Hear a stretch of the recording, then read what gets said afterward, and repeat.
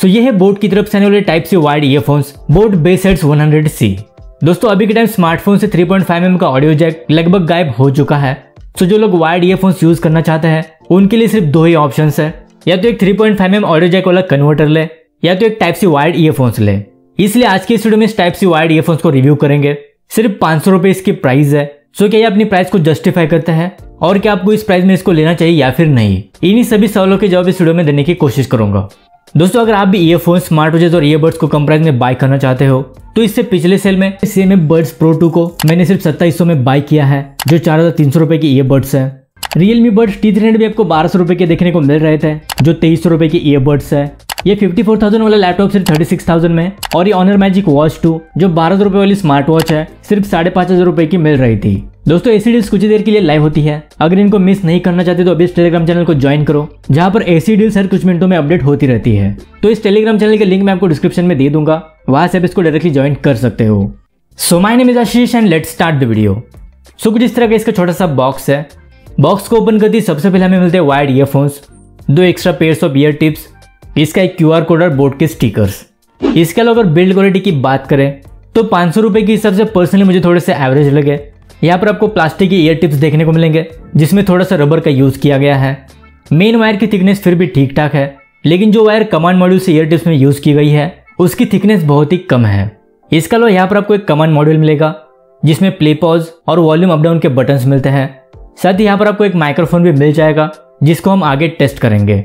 अगर फिटिंग की बात करें तो स्टार्टिंग में आपको थोड़े से अनकंफर्टेबल लग सकते हैं, लेकिन अगर आप इसको एक दो दिन यूज़ करोगे तो आपको आदत हो जाएगी। अदरवाइज़ मुझे इसमें कोई खास इशू नहीं लगा। ओवरऑल प्राइस के हिसाब से देखा जाए तो बिल्ड क्वालिटी थोड़ी सी और बेटर होनी चाहिए थी। अब बात करते इसके माइक क्वालिटी की। सबसे पहले आप इसके माइक्रोफोन के ऑडियो सैंपल सुन लो। अभी जो आप सुन रहे हो बोट बेसेट हंड्रेड सी के माइक्रोफोन से रिकॉर्ड हो रही है। तो कुछ इस तरह की कॉल क्वालिटी आपको इसमें मिलने वाली है। सो so, देखो एक वायर्ड ईयरफोन्स है। इस वजह से माइक क्वालिटी आपको अच्छी मिलने वाली है। कॉलिंग के लिए एक परफेक्ट ऑप्शन है। बिना किसी इश्यू के आप इसको कॉलिंग के लिए यूज़ कर सकते हो। अब बात करते इसके मेन साउंड क्वालिटी की। तो एक बार अब इसके सभी ऑडियो टेस्ट को सुन लो उसके बाद डिटेल में बात करेंगे।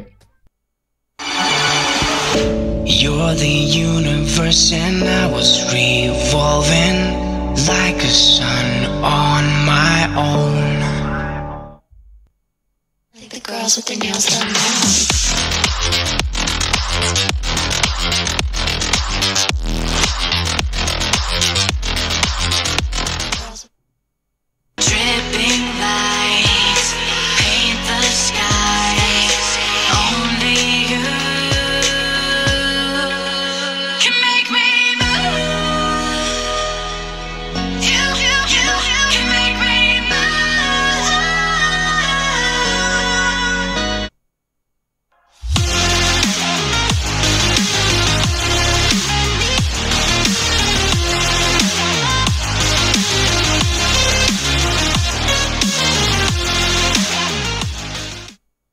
सो ये थी इसकी एक्चुअल साउंड टेस्ट देखो, किसी भी ईयरफोन्स में सबसे मेन होता है उसकी ऑडियो क्वालिटी अगर ऑडियो क्वालिटी अच्छी है तो एक बार हम बिल्ड क्वालिटी वगैरह को कॉम्प्रोमाइज कर सकते हैं.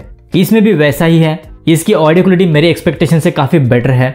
वोकल्स पार्ट को लेकर थोड़ी सी डिटेलिंग आपको कम लग सकती है, लेकिन इंस्ट्रूमेंटल सेपरेशन और ट्रबल्स काफ़ी अच्छे हैं. सबसे बेस्ट है इसका बेस जो कि ज़्यादा भी नहीं है और कम भी नहीं है. एकदम बैलेंस बेस आपको पंची बेस इफेक्ट्स के साथ सुनने को मिलेगा. अगर पाँच सौ के हिसाब से देखा जाए तो टाइप सी ईयरफोन्स में अभी के लिए इसकी ऑडियो क्वालिटी मुझे काफ़ी बेटर लगी। डेफिनेटली आप म्यूज़िक वगैरह के लिए इसको कंसिडर कर सकते हो। अब बात करते हैं फाइनल कंक्लूजन की। सो देखो, इसकी बिल्ड क्वालिटी को अगर कंसिडर ना करें तो बाकी ज़्यादा कुछ इशू मुझे इसमें नहीं लगा। वैसे मैंने इसको चार सौ रुपए तक भी सेल आउट होते देखा है। अगर आपको चार सौ, साढ़े चार सौ रुपए के अंदर मिलता है, तब आप डेफिनेटली इसको ले सकते हो। इसकी बेस्ट बैलेंस मैं आपको डिस्क्रिप्शन में दे दूँगा। सो ये थे Boat bass hundred type C wired earphones I hope आपके थोड़े बहुत डाउट्स क्लियर हो गए होंगे। अगर इस वीडियो से रिलेटेड कोई भी सवाल है तो मुझे कमेंट बॉक्स में पूछ सकते हो। So that's it for today मिलते हैं अगली वीडियो के साथ। तब तक के लिए good bye and take care